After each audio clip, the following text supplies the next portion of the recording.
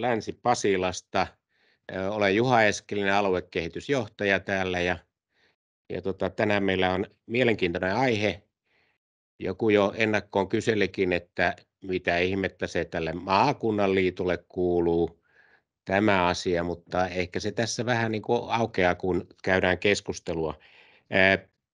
Sen sanon ihan alkuun, että maakuntaliiton lainmukainen yksi tehtävä on ennakointi. Mitä tulevaisuudessa tulee tapahtumaan tai mitä todennäköisesti tulee tapahtumaan, niin sitä tietoa me yritämme sitten meidän alueen toimijoille viedä eteenpäin. Ja yksi osa tätä on sitten tietysti se, että Suomi on liittynyt sotilasliitto NATOon ja se tuo niin kuin omat haasteensa alueille. Suomalaisessa keskustelussa oikeastaan tästä puolesta ovat kantaneet huolta nuo Itä- ja Pohjois-Suomen maakunnan liitot.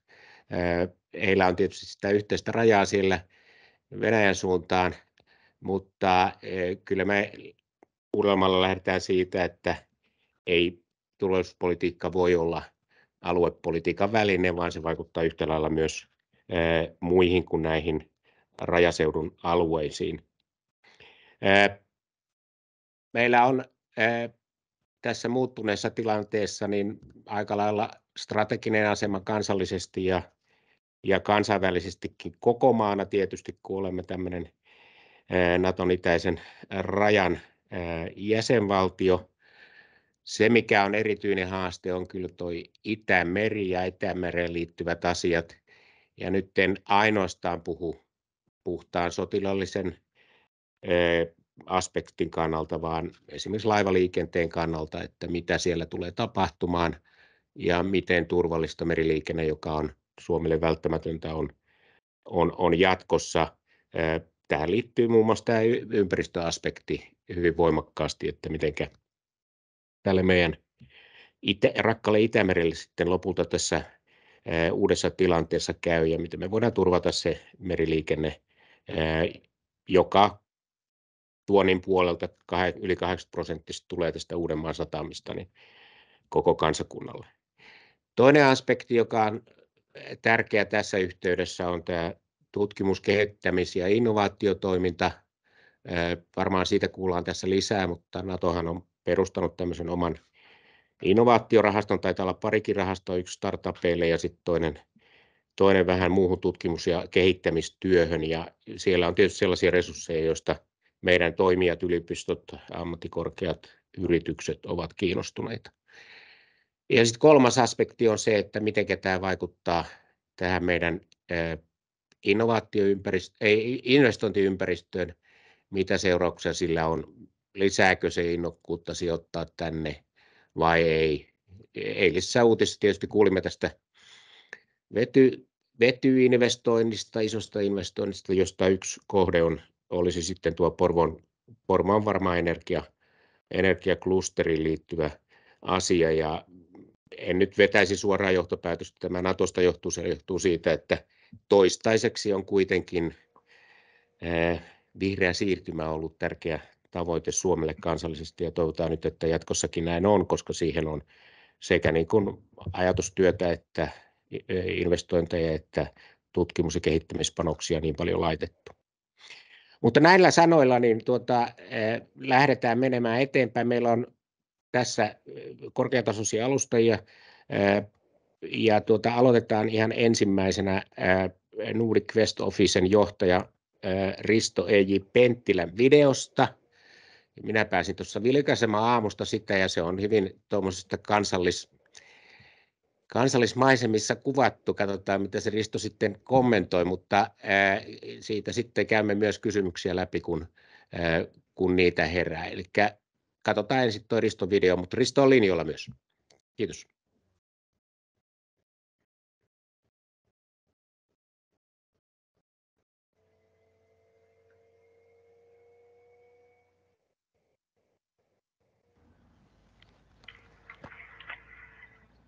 Muutama sana NATO-jäsenyydestä ja Suomen taloudesta. Ensin on rajat turvattava, sitten leipä levennettävä. Näin sanoi Svinhuvud 30-luvulla. Pätee yhä tänään. NATO-jäsenyyden myötä Suomen rajat on turvattu, nyt meidän täytyy ryhtyä leventämään suomalaisten leipää. Voiko NATO olla tässä avuksi? No kyllä epäsuorasti kolmella tavalla. Ensimmäinen on tietysti se, että NATO-jäsenyyden myötä maariski poistuu tai ainakin merkittävästi pienenee. Tänne uskaltaa taas sijoittaa, jos jollain on ollut jotain epäilyksiä välillä. Toiseksi kiinnostus Suomeen on kasvanut ja tulee kasvamaan lisää. Se näkyy erityisesti Yhdysvalloissa. Lähestulkoon kaikki amerikkalaiset, joita tapaan, ovat seuranneet Suomen matkaa NATOon, ovat uudelleen oppineet Suomen historiasta ja pitävät Suomea aivan ainutlaatuisena ja erinomaisena maana. Kun nyt vielä Ruotsi todennäköisesti tulee mukaan tänä kesänä, niin kiinnostus Suomea, Ruotsia, tätä maailmankolkkaa kohtaan lisääntyy. Ja se antaa tietysti meille erilaisia mahdollisuuksia matkailusta investointeihin ja tietysti kaikenlaiseen kauppaan. Ja kauppaluvuthan Suomen ja, Suomen ja Yhdysvaltain välillä näyttää aika hyvältä. Se kolmas syy on itseluottamus. Ja se on se kaikkein tärkein syy. Kun Suomi liittyi Euroopan unioniin, saimme todellisen boostin. Tiesimme, että tässä on nyt paikkamme. Teemme siitä merkittävän platformin Suomelle toimia. Ja näin tässä tapahtui, että Suomen ensimmäinen vuosikymmen siellä EUn ytimessä toimi aika hyvin, erityisesti se 90-luku. Odotetaan vähän samanlaista itseluottamuksen kasvua NATO-jäsenyyden myötä. Ennen kaikkea siksi, että suomalaiset niin yksimielisesti päättivät liittyä puolustusliittoon. Ja tämä yksimielisyys vielä ehkä korostetusti oli sitä, että kansa vei ja poliitikot tuli perässä. Ja, ja luulisin, että tämä antaa hyvän itseluottamuksen koko Suomen kansalle, että tässä ollaan nyt yhteisellä asialla. Tämä Suomi kuitenkin muuttuu tämän NATO-jäsenyyden myötä aika perinpohjaisesti, ehkä siitä vielä muutaman sana. Jyrki Karvisen kanssa kirjoitettiin kirja Pitkä tie NATOon ja siinä väitimme, että NATO-jäsenyyden myötä Suomi liittyy, siirtyy neljänteen tasavaltaan. Ensimmäinen tasavalta oli se, kun olimme itsenäistyneet ja saaneet hallitusmuodon vuodesta 19 talvisotaan. Toinen tasavalta oli sodan jälkeen, se oli YYA-Suomi. Kolmas tasavalta oli EU-Suomi, joka toki jatkuu yhä edelleen. EU on meidän tärkein viitekehys, mutta nyt niin merkittävä asia NATO on, että siirrymme tässä neljänteen tasavaltaan. Ja kun näitä tasavallan muutoksia, saranakohtia on aiemmin tapahtunut, niin aina on tapahtunut kolme asiaa. Ensimmäinen on se, että Suomen ulkopolitiikka on muuttunut, no se on päivän selvä nytkin. Kauppapolitiikka on muuttunut, sekin on muuttunut ja muuttuu yhä. Venäjä on sulkeutunut samalla tavalla Kiinan kanssa kauppa ei enää ole yhtä voimakasta kuin se oli joskus aiemmin. Ja näyttää siltä, että suomalaiset enemmän ja enemmän joutuvat tekemään kauppaa maailmassa, joka hieman blokkiutuu.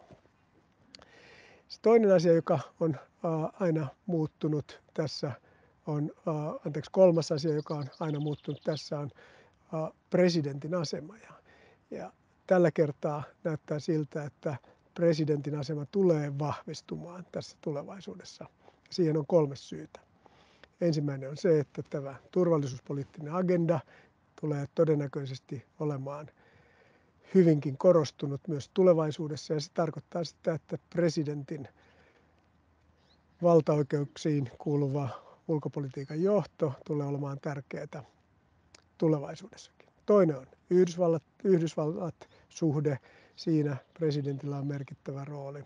Ja sitten kolmas on tietysti se, että presidentti on mukana näissä NATO-huippukokouksissa. Eli tällainen ehkä presidentin aseman korostuminen tulee tapahtumaan. Se toki on tapahtunut jo Sauli Niinistön aikana ja erityisesti tämän NATO-prosessin myötä, mutta näkisin, että se tulee jatkumaan vielä tulevaisuudessakin. Mutta siitä taloudesta.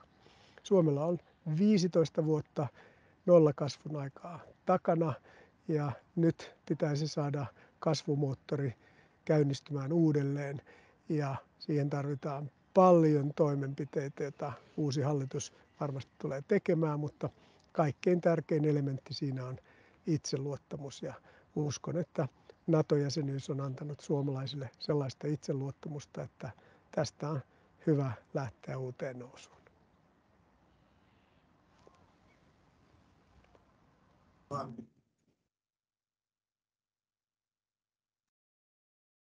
Sieltä kansallismaisemista ja nyt taidetaan olla junan syövereissä, että junaa hiljaista miestä kuljettaa, voisi sanoa tässä. Mielenkiintoisia näkökulmia. En itse lähde tässä kommentoimaan. Ajattelin, että jos tuolta meidän netin syövereistä joku haluaisi jonkun näkökulman esittää.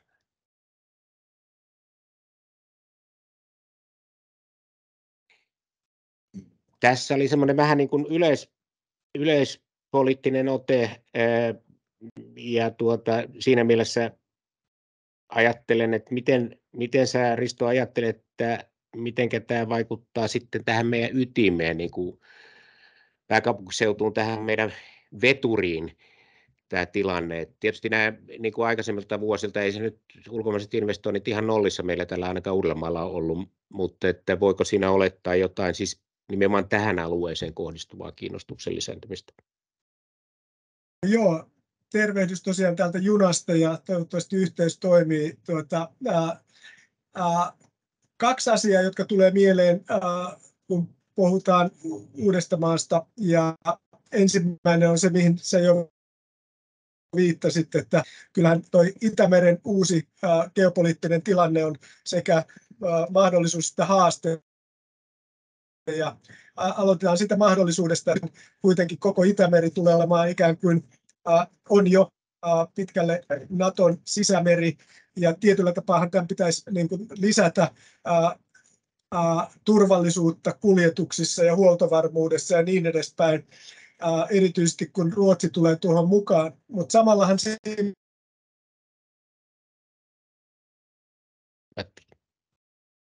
ne on se potentiaalisuhteet yhä edelleen pahentuvat ja jos sota eskaloituu Ukrainassa, niin silloin yhtäkkiä Itämeren kuljetusreitit ovat epävarmimmassa asemassa. Mä luulen, että tuota, seuraava puhuja osaa puhua tästä paremmin, mutta tähän tarkoittaa sitä, että meidän pitää miettiä, miettiä huoltovarmuuden kannalta myöskin sitä vaihtoehtoa, että tämä yhteys ei enää toimisi yhtä hyvin. Eli se on se, on tuota, se kaksiteräinen miekka tässä tuota, NATO-jäsenyydessä.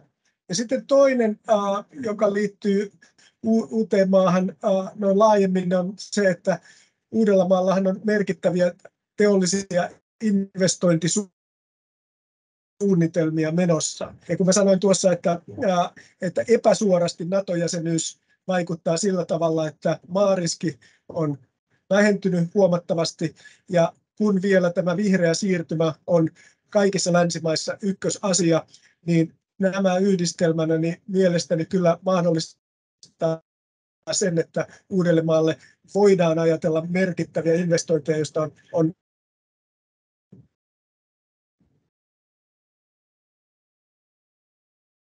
kyllä puhuttu, että nämä ovat suunnitelmissa, niin näkisin, että niiden toteutumismahdollisuus on kasvanut tämän NATO-jäsenyyden myötä. Kiitoksia Risto. Yleisöstä kysymyksiä.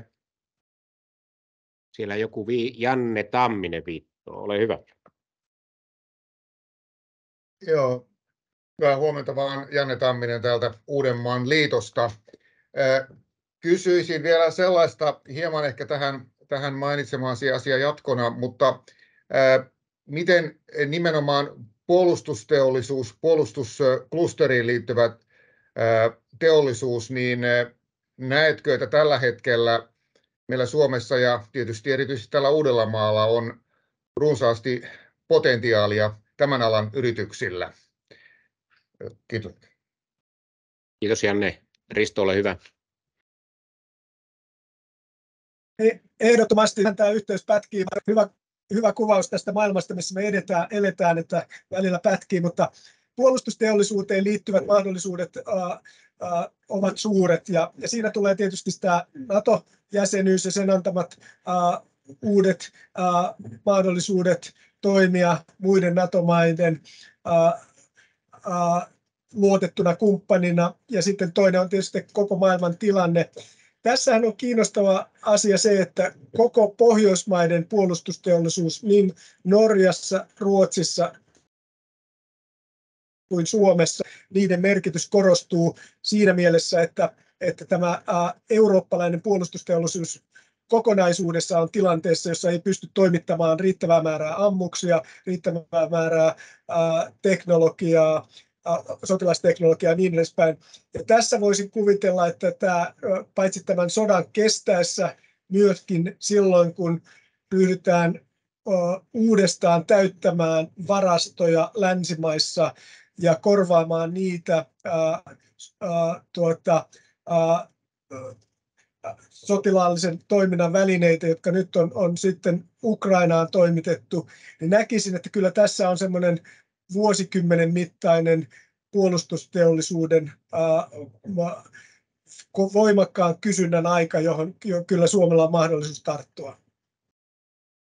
Kiitos Risto. Mennään ohjelmassa eteenpäin. Seuraava alustaja on Pekka Toveri, joka on kansanedustaja meiltä täältä Uudeltamaalta, kenraali majuri EVP ja, ja toiminut viimeksi sitten pääsekunnan tiedustelupäällikkönä. Ja Pekalta on pyydetty vähän näkemyksiä siitä, että mitä, mikä tekee Uudestamaasta ja pääkaupunkiseudusta erityisen ja miten alueiden käyttö ja infrastruktuurin kehittäminen pitäisi tapahtua puolustuksellisesta näkökulmasta Uudellamaalla ja ajatuksia siitä, mitä NATO-jäsenyys tarkoittaa turvallisuus- sotilasosaamisen näkökulmasta tai yritysten näkökulmasta.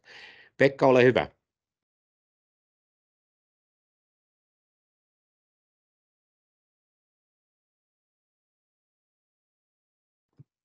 No niin, nyt kuuluu varmaan. Kuuluu. Hyvä. Joo, huomenta kaikille. Joo, NATO, NATO ja Uusimaa. Tota, jos vähän niin kuin kauempaa lähtee tästä asiaa, asiaa katsomaan, katsomaan, niin ensinnäkin Uusimaahan nyt on niin kuin Suomen kannalta, niin kuin hyvin tiedetään, niin, niin Suomen moottori. 40 prosenttia melkein väestöstä asuu täällä, bruttokansantuotteesta yli puolet tehdään täällä. Tämä on hallinnon politiikan, politiikan talouden keskus ja, ja tota, kun meillä on suunnitelmia selkeästi olemassa, että maassa kristilanteessa, jos Suomeen hyökätään, niin tuolta raja-alueelta väestö evakuoidaan, e-, evakuoidaan tehdään, tehdään hyvissä ajoin. Tarkoitus on tehdä väestön, väestön siirtoa suojaa ja, ja sitten suojaväistöä ja evakuointia ja niin edespäin. Ja Ukrainan sota on valitettavasti hyvin osoittanut, että, että näin on syytä tehdä, koska, koska venäläisten, miehit, venäläisten hallissa pitämällä alueella niin ei kannata päiväksikään jättää, jättää siviileitä. Uusimaa on kuitenkin sellainen alue, että tämä on ensinnäkin Täällä on liian paljon keskeisiä toimintoja, täällä on liian paljon väestöä, e, että tätä voitaisiin tyhjentää. Suomi, Suomi pärjää ilman uutta maata ja pääkaupunkiseutua. Se on ehdottomasti niin sanottu pidettävä maaston kohta kaikissa olosuhteissa. Sitä aiotaan puolustaa ja sitä aiotaan pitää kiinni. Ja, ja, ja tota, osa väestöstä varmaan evakuoidaan, mutta, mutta hyvin suuri osa jää paikalleen, koska on parasta suojata täällä. Meillä on kuitenkin hyvät, hyvät suojatumismahdollisuudet. Väestötiloja on 900 000 ihmiselle Helsingissä pelkästään ja niin edespäin. Tota, kun nyt NATO, NATOon liitytään, niin, niin pitää muistaa, että kyseessä on paljon mainostettu, että Suomi on äärimmäisen NATO-yhteensopiva maa. Ja kyllä me ollaan teknisesti. Mutta se tekninen yhteensopivuus on vain pieni osa asiasta. Ja, ja tota, kaikki muu onkin sitten haastavampaa. Eli, eli, eli sen lisäksi, että meidän, meidän tekniset ja ase, asejärjestelmät toimii teknisesti yhteen, niin meidän pitää koko puolustusvoimien tilannekuva, tiedustelu, johtamisjärjestelmät, jotka kaikki on rakennettu kuitenkin itsenäiseen toimintoon ja, ja, ja tota, niin kuin Suomen olosuhteisiin Suomea varten. Ne pitää kaikki, kaikki integroida NATO-järjestelmiin. Sitten meidän pitää integroitua NATO-johtamisjärjestelmään ja komentorakenteeseen, joka, joka tullaan muokkaamaan jollakin tavalla ottamaan huomioon Suomen jäsenyyden ja tulevan Ruotsin jäsenyyden. jäsenyyden. Ja sitten yhteinen operatiivinen suunnittelu ja, ja yhteinen suorituskykyjen suunnittelu. Eli, eli tähän asti nämä asiat on 70 vuotta tehty keske, ke, itse, täysin itsenäisesti, täysin itsenäisesti ja, ja tota, nyt pitää ruveta kumppaninen kanssa ja liittolaisten kanssa katsomaan sitä, että miten Suomea puolustetaan, mikä on suomalaisten rooli, mikä on vahvennusten rooli, minkälaisia vahvennuksia tulee ja, ja tota, toi, toi, ja miten tosiaan minkälaisia suorituskykyjä tarvitaan sen lisäksi, mitä Suomella on jo, niin että me voidaan tämä puolustus toteuttaa. Ja, ja se on iso prosessi. Ja, ja tota, tämän lisäksi vielä pitää katsoa sitten, että miten Suomi osallistuu Naton pysyviin merivo- merivoimaosastoihin, Baltian ilmavalvontaan, NATO-valmiusjoukkoihin ja minkälaisella panoksella Suomi osallistuu artikla, artikla 5 puolustukseen Suomen rajan ulkopuolella, jos on tarvetta. Eli kysymyksessä on iso projekti, joka on puolustusvoimien suurin, suurin rakennemuutos toisen maailmansodan päättymisen jälkeen, uskaltaisin väittää väittää, ja siinä, siinä menee vuosikausia. Nyt tavoite on, että kuudessa vuodessa tämä integrointi olisi tapahtunut. No mitä sitten tapahtuu, miten sitten käytännössä se, ne heijastuu ne asiat esimerkiksi Uudellemaalle, Uudellemaalle niin tota, se selviää, selviää tämän suunnittelun myötä. Tosiaan se on se, että, että yksi tärkeimpiä kykyjä on se, että miten, mä en usko, että, että Suomeen tullaan asettamaan mitään pysyviä NATO-joukkoja. mitään mittavia tukikohtia tänne ei varmastikaan rakenneta, rakenneta Baltian maat, jotka on paljon uhanalaisemmassa asemassa, ei ole saanut mitään pysyviä tukikohtia. Tuki, tukikohtia Natolta, minkä takia Suomi, joka on puolustuksellisesti paremmassa asemassa ja jonka puolustusta, puolustuskykyä kehutaan yhdeksi Euroopan parhaimmista, niin miksi meillä ei yhtäkkiä sitten tässä joku mittava tukikohta. Ää, toki jos uhka nousee, niin sitten niin kuin Baltiankin on sijoitettu tämmöisiä puolipysyviä, eli sinne, sinne on sijoitettu pataljonan taisteluosastoja jokaisen maahan, jotka sitten eri kansakunnat rotatoi joukkoja siellä, että ostetaan sitä läsnäoloa, niin tämmöinen uhan, uhan noustessa niin voidaan, voidaan toimittaa alueelle. Tuleeko jotain esikuntarakenteita, se selviää sitten, kun se komentorakenne aikanaan selviää, ja, mutta jos tulee, niin mä uskaltaisin epäillä, että ne menee enemmän tuonne pohjoisen suuntaan kuin tänne etelän suuntaan. Eli semmoista pysyvää Naton läsnäoloa Mä en nyt usko, että täällä Uudellamaallakaan kauheasti nähdään, mutta harjoitustoiminta ehdottomasti äh, tota, kehittyy. Ja sitten infrastruktuuria tullaan rakentamaan niin, että meillä on entistä paremmat mahdollisuudet ottaa vastaan sitä Naton apua.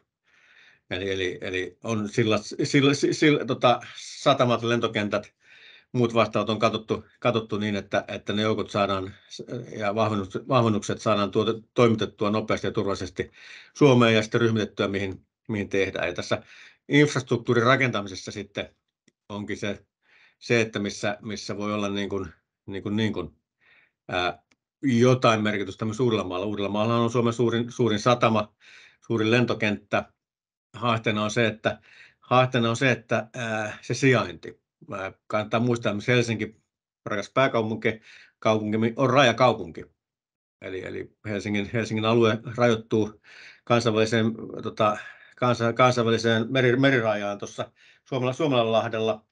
Ja, ja tota, se Suomenlahden turvallisuus kul, kulkureittinä niin riippuu sitä aika pitkälti siitä, että, äh, mikä, on, mikä on tilanne, että voidaanko me esimerkiksi Vuosaarta käyttää joukkojen tuomiseen vai suunnitellaanko sitten se joukkojen, joukkojen keskittämiset ja tota, jonnekin Länsi-Suomeen, rakennetaanko infrastruktuuri niin, että sieltä löytyy satamakapasiteettia, sieltä löytyy sitten rautatie- ja maantiekapasiteettia, ja sitten siirtää niitä joukkoja tarvittaessa tarvittaessa tota itäänpäin, niin, niin se onkin sitten se jatkosuunnittelun paikka.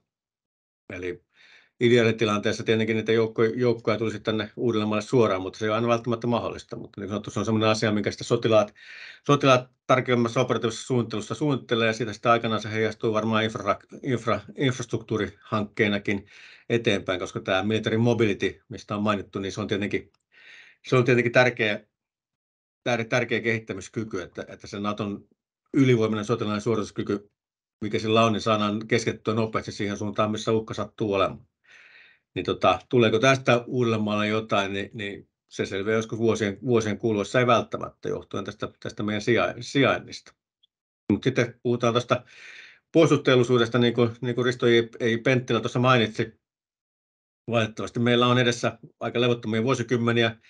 Meillä on naapurissa rappeutuva suurvalta, joka kipuilee sitä rappeutumista ja on sen takia normaalia aggressiivisempi, aggressiivisempi ja, tota, tätä puolustuskykyä, niin kuin tämä Ukrainan sota on osoittanut, aina, aina sanotaan, vanha sanonta on, että kenraalit, kenraalit valmistautuu aina edelliseen sotaan. No, tämä nyt valitettavasti näyttää aika paljon sitä edelliseltä sodalta. Eli tämän, tämän Ukraina, Ukrainan sodan tärkein oppi on se, että, että, että sodat voi olla pitkäkestoisia ja ne vaatii mittavasti materiaalia. Se materiaali on henkilöstöä, eli pitää olla reservit. Se on ammu, ammu, ammuksia, massiivisia määriä, se on aseita, mittavia määriä. Ja, ja tosiaan tämä puolustusteollisuuden tilauskirjat tulee olemaan, olemaan aika täynnä tulevaisuudessa. Ja nyt kun me ollaan sitten NATO-jäsen, niin meillä on entistä helpommat mahdollisuudet ää, ää, tarjoa suomalaisen puolustusteollisuuden tuotteita sinne, sinne NATO-kumppaneille.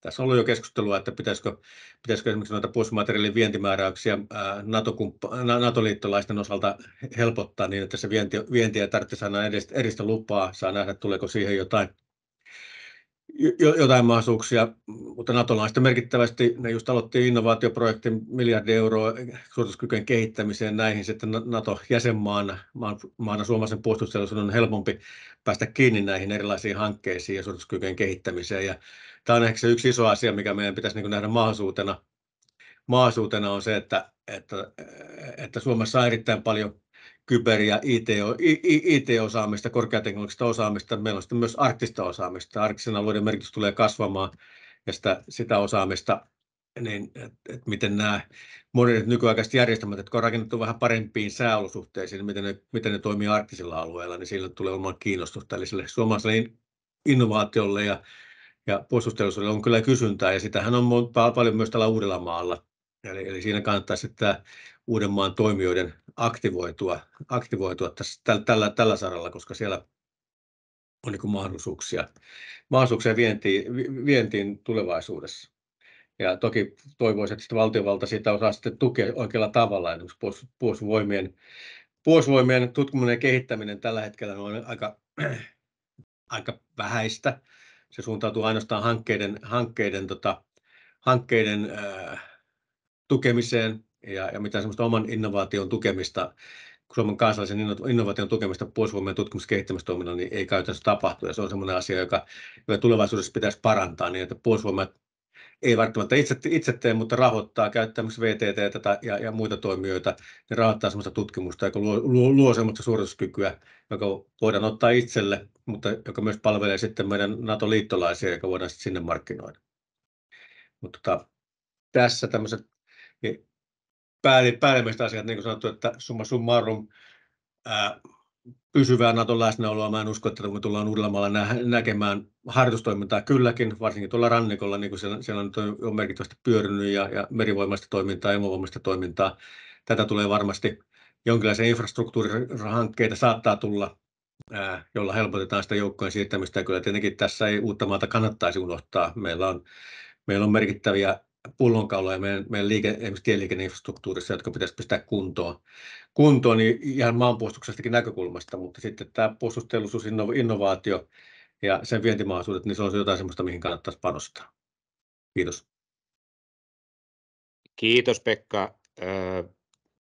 Pekalle ensimmäisen kysymyksen esitän, että onko nyt niin, että, että tuota, joukot tulevat Ruotsin laivalla Turkuun ja sieltä tunnin junalla tänne, että onko tämä nyt hallitusneuvottelussa semmoinen keskeinen kysymys, jossa Orpo onnistuu turkulaisena sitten lopulta tämän puolustusnäkökulmasta eteenpäin viemään?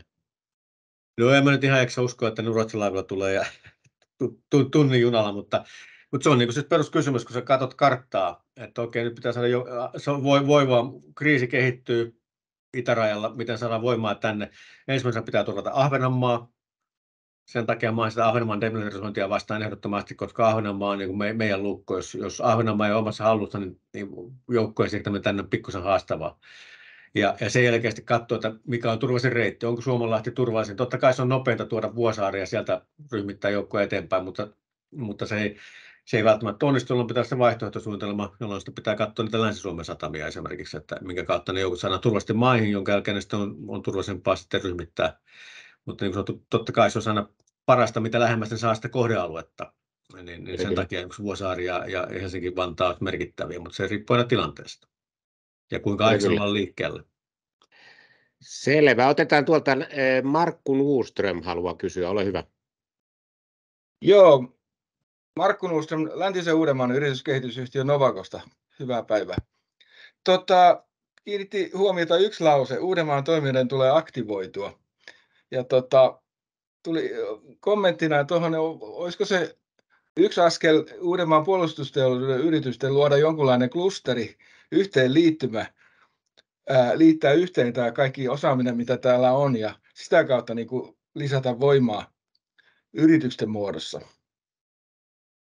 Voihan se olla, koska meillähän tietenkin pian tämä puolustusteollisuusyhdistys, mutta mä en niin tiedä, että, että kuinka paljon se keskittyy näihin suuriin firmoihin ja, ja ostaako siellä tarpeeksi ottaa huomioon sitten niin kuin alueellisia, alueellisia klustereita, niin se, jos, jos, jos, ei, jos ei pian sisällä voi tämmöistä rakentaa, niin sitten ehkä kannattaisi rakentaa oma. Se voisi olla yksi, yksi keino, että niin kuin joukko, joukkovoimaa ottaa käyttöön.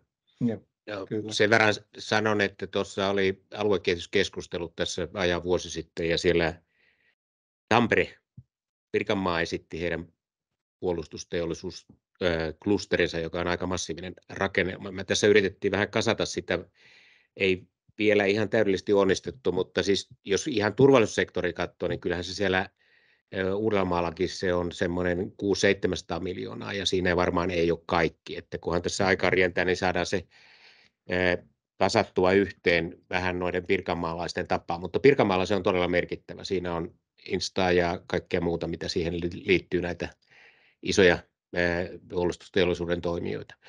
Mennään eteenpäin. Siellä on tota Niko Pakraattis, ole hyvä, ja sitten Paavo Heiskanen valmistautuu.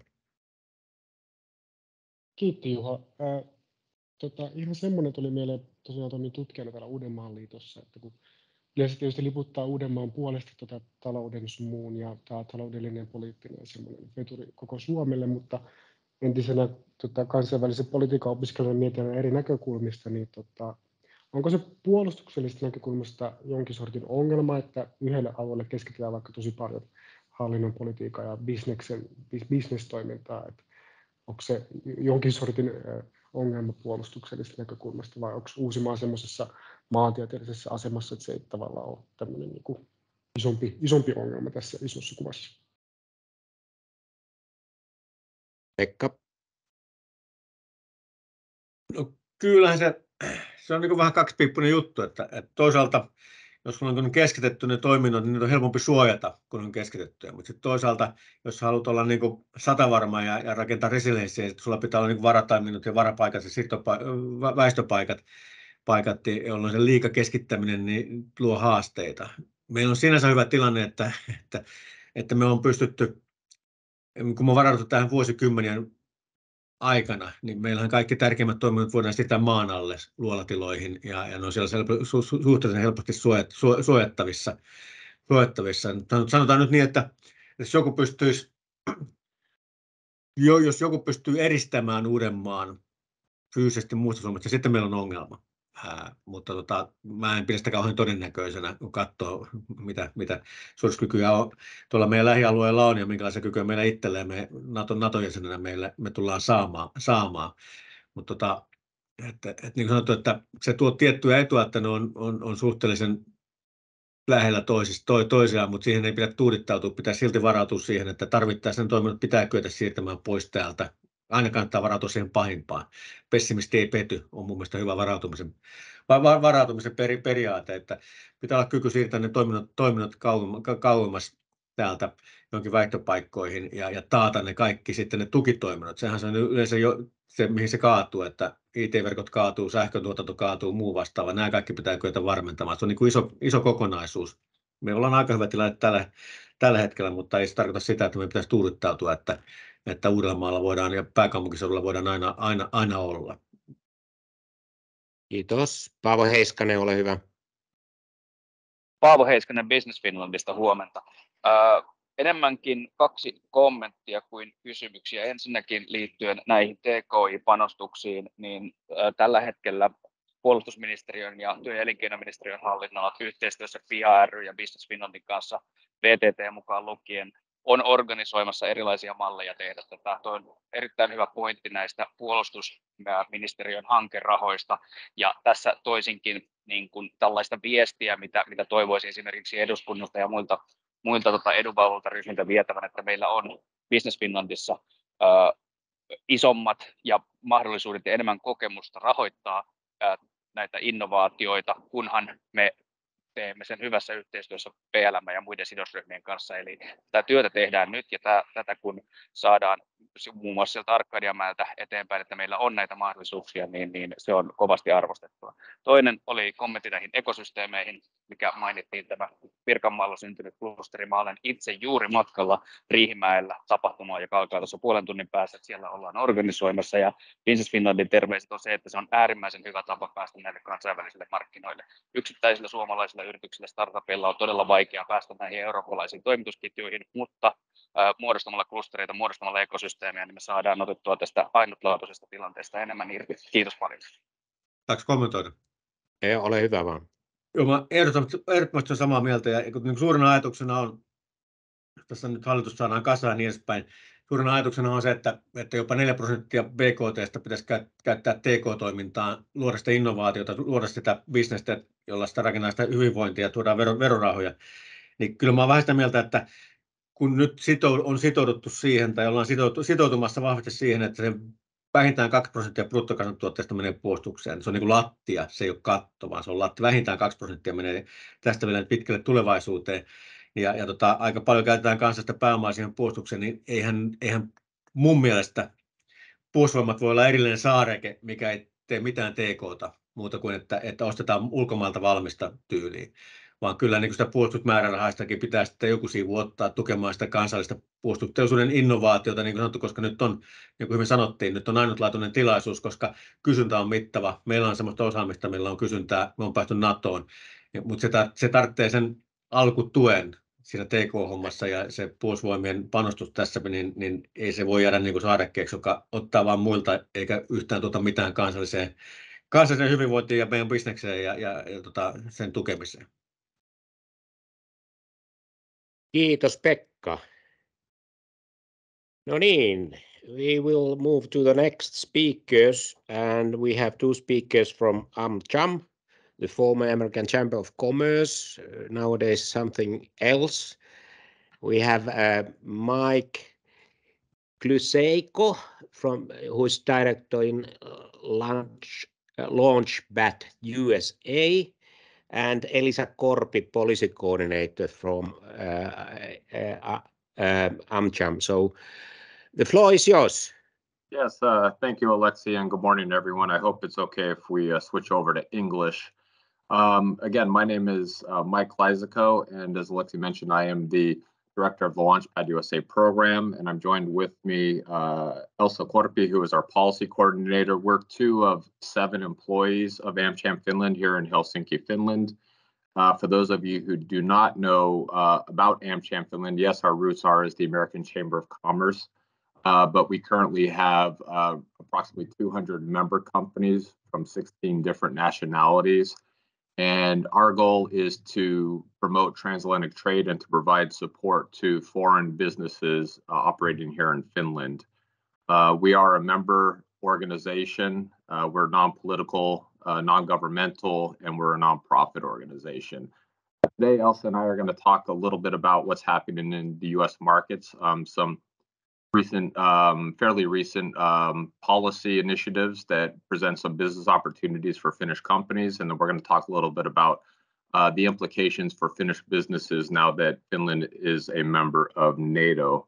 Uh, with that being said, I'm going to turn things over to Elsa, who has, I think, some slides to share with everyone. And you'll hear from me a little later. Thank you. Great. Thanks, Mike. Let me just share my screen quickly. Hopefully someone's going to holler if that doesn't show. Otherwise, I'll assume good. we're good to go.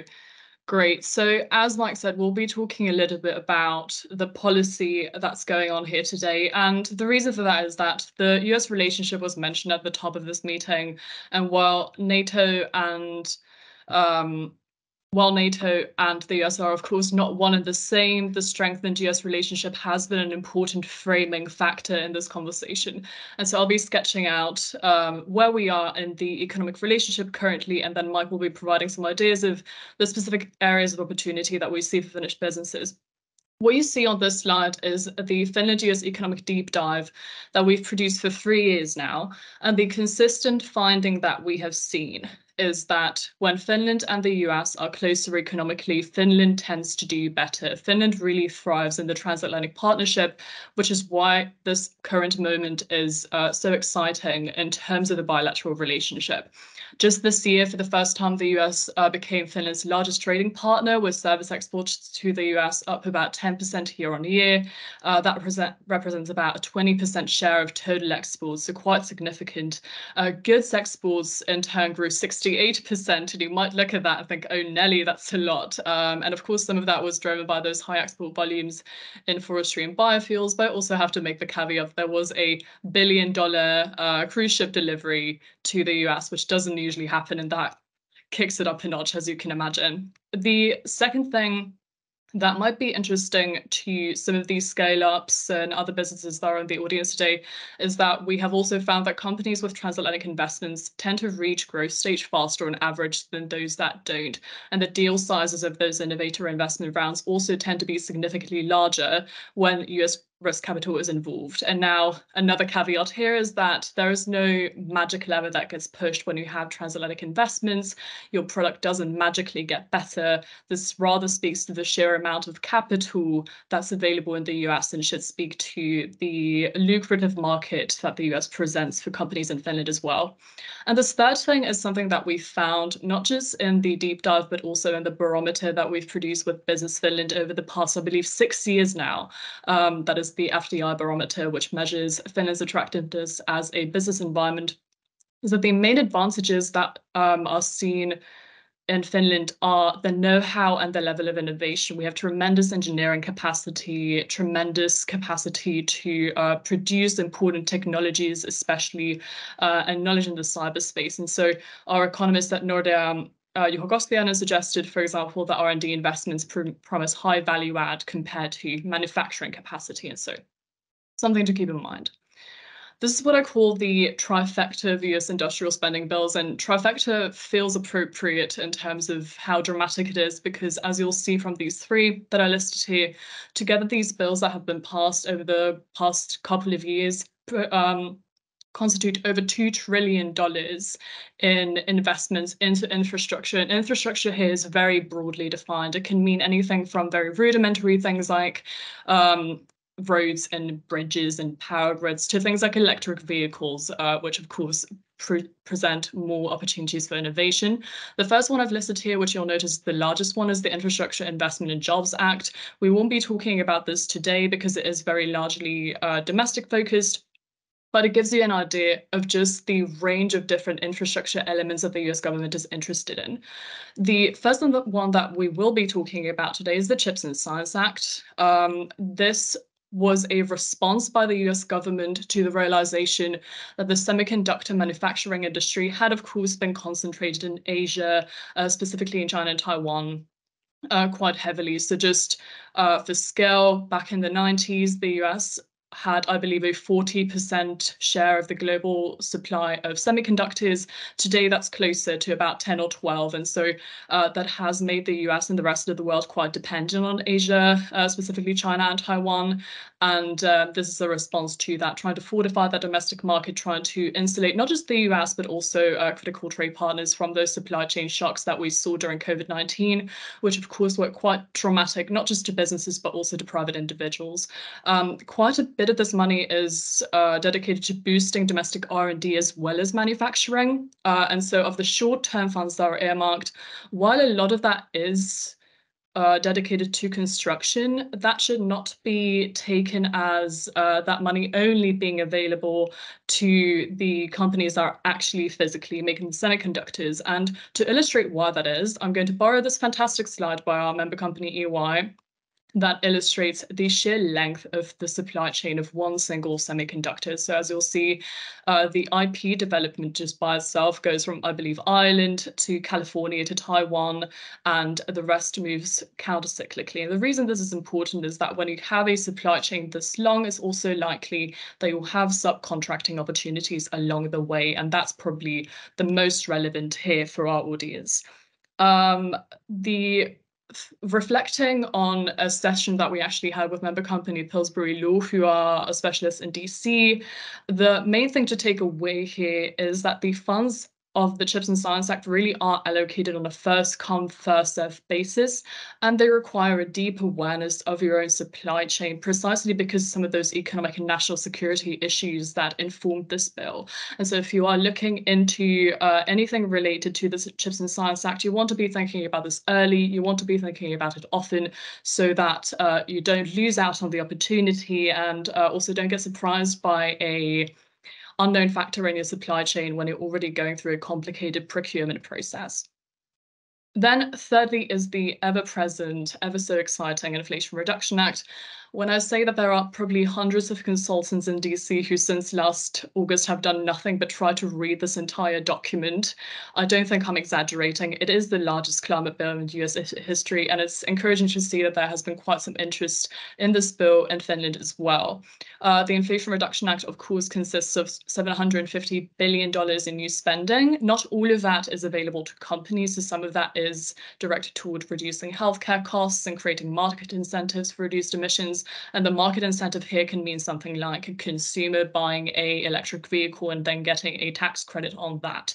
Uh, a significant portion, though, about 400 billion, is dedicated to incentives for private investment and the majority of that is in tax credits. And that is the important thing to understand about the IRA. Uh, it is not grant money per se, but tax credits. And there are significant strings attached um, that you must meet to um, reach those full tax credits. And so, for example, the domestic content requirement uh, is the one that has roused some passionate discussion in Europe, let's say. And it just means that the, for example, battery that you have in an electric vehicle has to have its final assembly in North America America with critical minerals that are recycled in North America or a US free trade partner. And there with the North American US free trade partner, we can again see the undertones of this uh, national security thinking uh, behind a lot of this.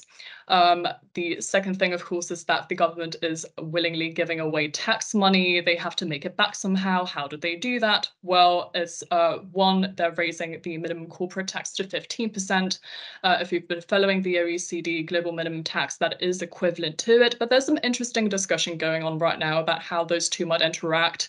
Um, there is a possibility that the IRA might reduce a company's tax liability to below 15%, which would create all sorts of problems with the OECD. But that's something that we're following and awaiting more guidance on. And there is also a 1% excise tax on stock buybacks, which is just something to keep in mind if it's something that you're looking into.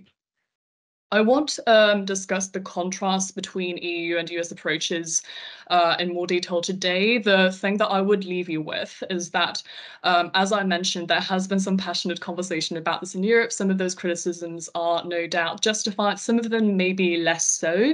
Uh, it's important to remember that uh, international business is extremely interconnected, it is extremely interdependent, and so these investments too are not a zero sum game. So, for example, European companies are already a leading source of foreign direct investment in the US energy sector. And so uh, we are not yet at a point of a subsidy war uh, where the world would become divided into the US and Europe. And so with that, I'm going to turn it over to Mike. Uh, who will be looking a bit more closely at the opportunities that NATO can produce in the context of all of the industrial policy that I just mentioned. Yeah, thank you, Elsa. Um, real quickly before we get into the NATO, I would talk a little bit about just what we see in terms of the interest for Finnish companies going to the US. I mean, it, in the 10 years I've been working with Finnish companies, I would say it's at an all time high. And we see a lot of companies that are um, will be capitalizing on these pieces of legislation. So, just one example related to the Inflation Reduction Act kind of a program that's come out of that is this National Electric Vehicle Infrastructure Program or NEVI program, which provides 50 states funding to build out their EV charging infrastructures. And we've been engaged with two Finnish companies that are looking into those uh, opportunities for their businesses. Um, so jumping ahead to NATO um, and what are the business opportunities, uh, what I'm going to share with you are some uh, brief, uh, just a very uh, small subset of a briefing we received a few weeks ago from a legal advisor to the um, NATO Support Procurement Organization's um, executive committee. And so you know, when when looking at NATO, you know, it's a very large organization. Under it, you have, um, you know, four different agencies. You have staffs, and then you have their military committees. Um, and what we're going to focus on is the NATO Support and Procurement Organization, um, the NSPO, uh, because that is the subsidiary body of the North Atlantic Council, which is responsible for acquiring the goods and services, um, not only for NATO, but also for military headquarters and NATO and its uh, partner nations. Um, you know, it, and it's a sizable market. It's a big opportunity. Last year, their turnover uh, was 4.8 billion euros. Uh, they have 10,000 suppliers in their kind of vendor system. So there is a um, you know a large market opportunity uh, for for Finnish companies. Um, real quickly um, to talk about just the procurement uh, process, I guess you could say it really begins with the uh, vendor registration. Um, you can see I've attached the um, or included a link um, to the website.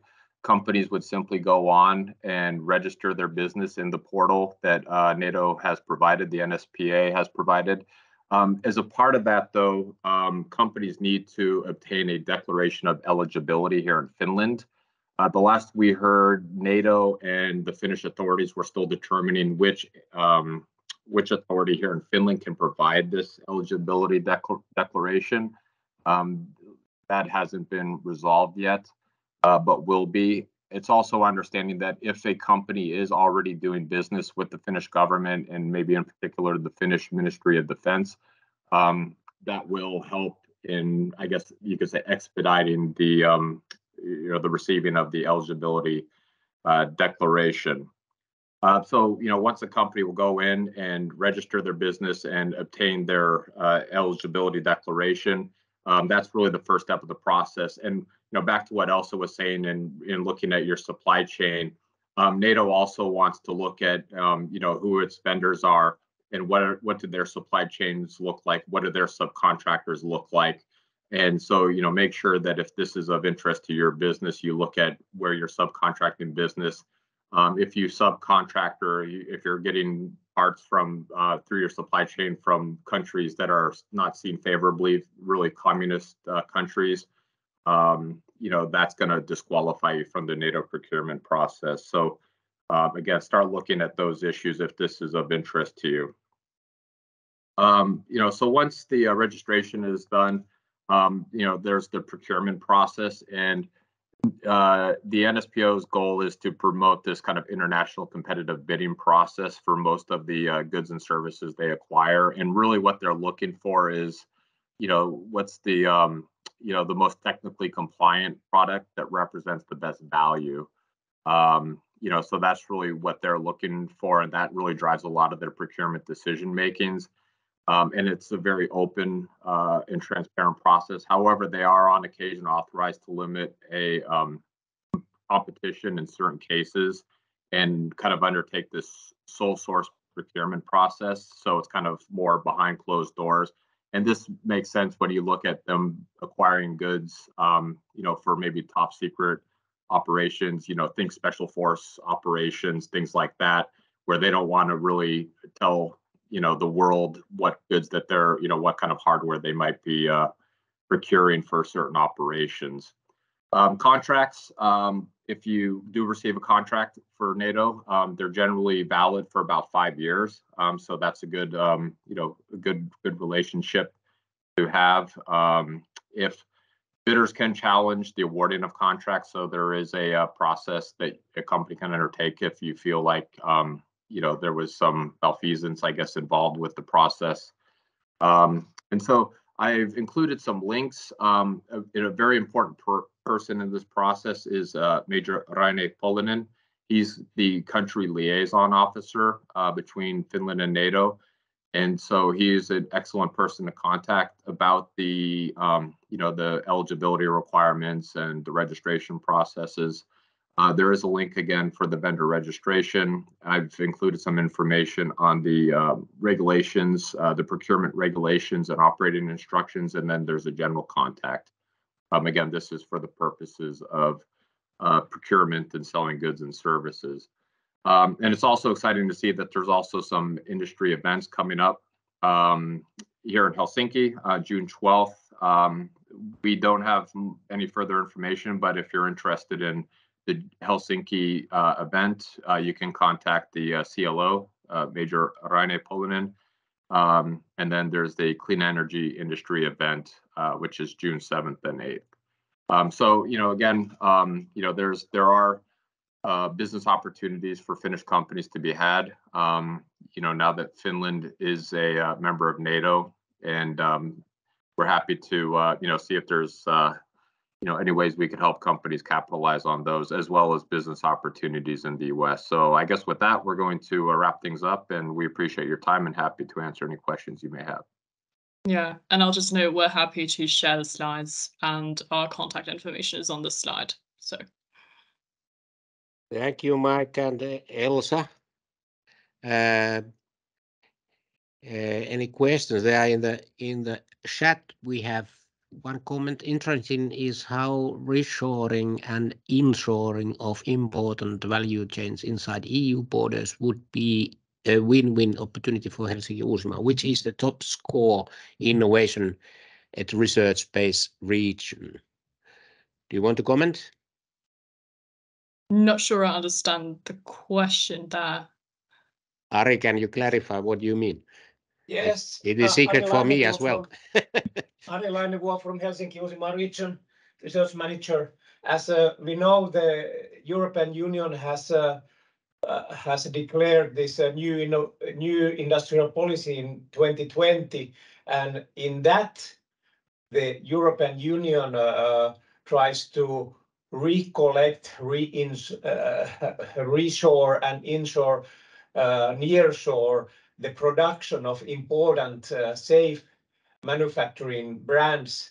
And I think it, it's also interesting question that how we can connect this uh, to, for instance, the US production and, and global value chains and supply chains as well.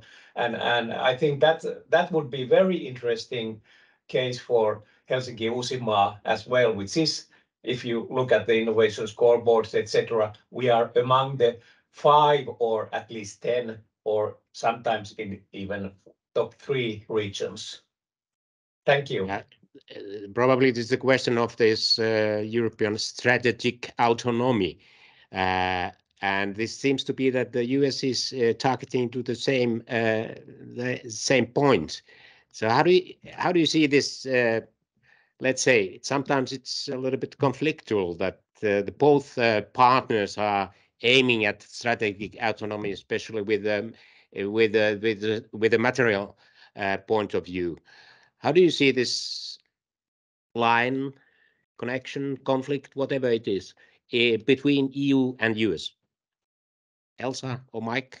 Actually, I could jump in. I I think um, just yesterday there was an announcement from a U.S. Uh, based company called Plug Power. I don't know if anybody else saw that, but I think this is a great example of transatlantic investment and and also the benefits of joining NATO. So Plug Power, which produces green hydrogen, announced yesterday that they plan to build three of their green hydrogen production facilities here in Finland, which Correct. represents a um, you know a, a multi-billion-dollar investment and could potentially employ hundreds of people and the CEO Andy Marsh uh, actually cited one of the main two two main reasons, maybe there were three, but two main reasons for choosing looking at Finland was one the security now that Finland's a part of NATO, but also that there were these um, you know the alignment of interest in towards um, you know sustainability and uh, you know uh, better sources of of energy. So you know I, I think that we we see um, you know, Finland is very attractive for U.S. companies as an investment destination. Um, you know, to bring these new technologies, and I see it going the other way too. Um, you know, where Finnish companies are going to the U.S. Uh, there's a company from the Uusimaa region, Premix, which we worked with, that is that was awarded a um, 80 million dollar U.S. Air Force contract to onshore the supply of pipettes, you know, medical uh, testing equipment uh, into the U.S. and they were uniquely positioned because of their great technology to be awarded that uh, contract over, you know, U.S. companies and other companies. So we, we see great opportunities going both ways. Thanks, Mike. Elsa, do you want to add something? I'm all in on what Mike just said. I think it goes both ways. Okay. Any other comments, questions? No. Thank you very much. This was our... Is there somebody asking? No. Okay. This is the last Future Radar or tulevaisuustutka tälle keväälle, ja kiitämme kaikkia alustajia ja osallistujia. Ehtikö vielä ennen kesää yksi? Ei taida ehtiä, että syksyllä tapaamme uudemman kerran sitten näissä merkeissä ja yritetään olla rohkeita ja valita sellaisia aiheita, jotka eivät ole ihan tavanomaisia, niin saadaan ajatukset liikkeelle. Kiitoksia kaikille osallistujille ja erityisesti alustajille.